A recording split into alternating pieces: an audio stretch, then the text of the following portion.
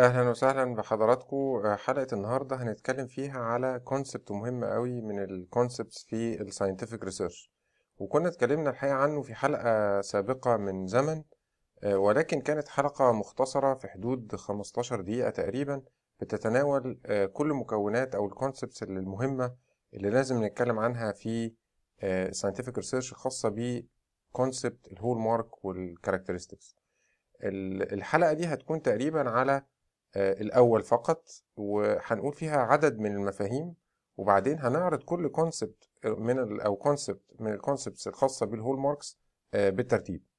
فلو نبدأ مع بعض في واحد من الكتب المشهورة المتداولة ما بين إيدينا وخاصة في مجال ال business ولكن تاني بننبه إنه آه، بالنسبة لحلقة النهاردة ويمكن الحلقات التالية لغاية ما نخلص كل الثمانية concepts of ال hallmarks هي بتنطبق على كل أنواع ال scientific research بكل تخصصاته تقريبا يعني.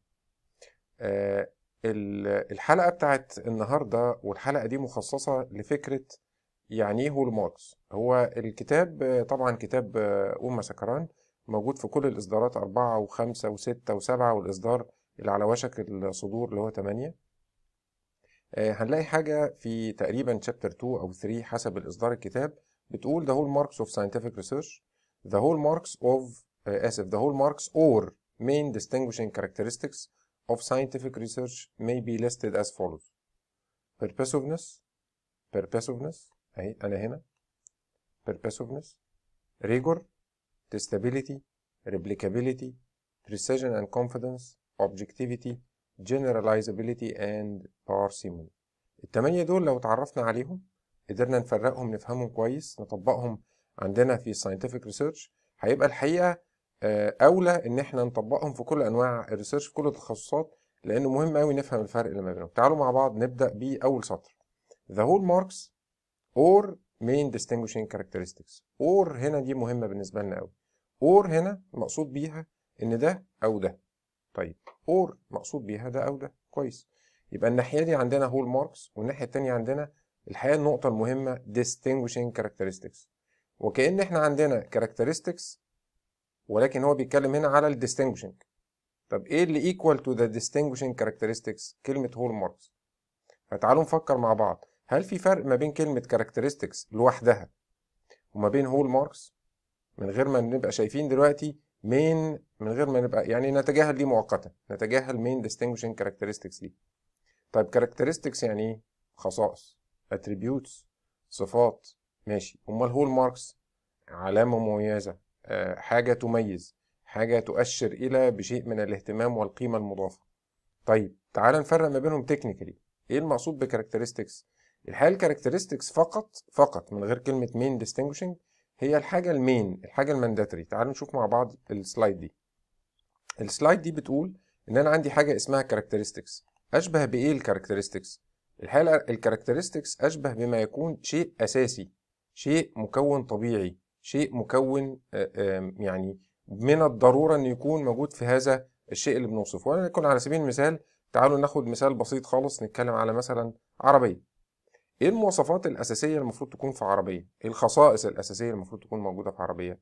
لو هنتكلم على واحدة من الخصائص الأساسية الأمان طيب إيه اللي متحققه بمعادلة الأمان دي؟ إيه المعيار بتاعها؟ هفترض يعني ايرباج واحدة طيب لو في ايرباج واحدة في عربية والعربية دي برقم طبيعي الأساسي اللي موجود في السوق.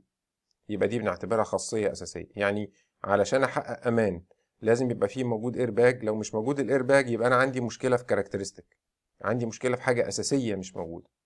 طيب حد تاني من من مصنعي السيارات بيوفر العربية نفسها اللي بنفس السعر ولكن باتنين ايرباج أو بتلاتة أو أربعة airbags ساعتها ساعتها هو تخلى عن ال characteristic الأساسية وأضاف إليها. يعني ثبت الخاصية الأساسية اللي هي ايرباج في كل عربية وزود اتنين أو تلاتة ايرباج فساعتها هو حقق لي hallmark حقق لي خاصية distinguishing خاصية value added اللي هي قال عليها في الكتاب هنا قال عليها في الكتاب main distinguishing characteristic. يبقى ال hallmark هي اللي equal to the main distinguishing characteristic وعكس ال characteristic العادية.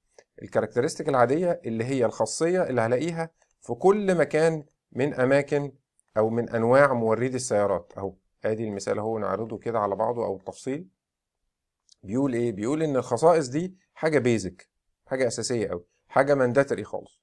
دي اللي هي characteristic. إنما لو اتضاف عليها أو معاها حاجة إضافية مش موجودة ولا common ولا أساسية عند الآخرين ساعتها هنسميها hallmark يعني distinguishing أو distinguished characteristic. وتاني المثال مثلا بتاع العربية إنه أي عربية نقدر نتوقع من خصائص الأمان الطبيعية اللي فيها ايرباج كل موردي السيارات ومصنعيها هيوفروا لنا الايرباج دي يبقى هم حققوا characteristic طيب لما يجي واحد من المصنعين أو موردي السيارات ويوفر لنا اتنين أو تلاتة أو أربعة airbags زود عن ال basic أو ال mandatory ده. ساعتها بنقول له شكرا أنت كده حققت لنا خصائص مميزة خاصية جديدة مميزة. هنسميها إيه الخاصية المميزة؟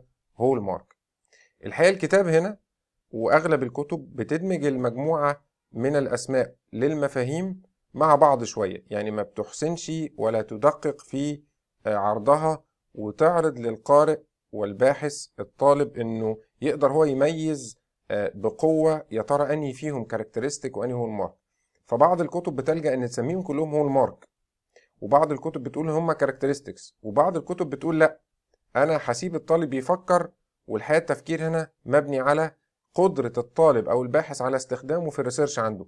فهل ممكن يا ترى واحدة من دول تبقى characteristic والتانية تبقى hallmark وممكن يبقى العكس بالنسبة لل researcher دون الآخر في البحث الخاص بيه.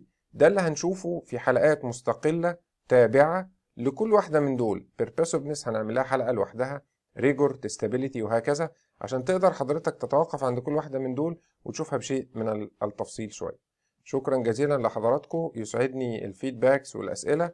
وإن شاء الله الحلقات اللي هي بتشرح كل واحدة من التمانية دول تباعا على قناة اليوتيوب. شكرا جزيلا.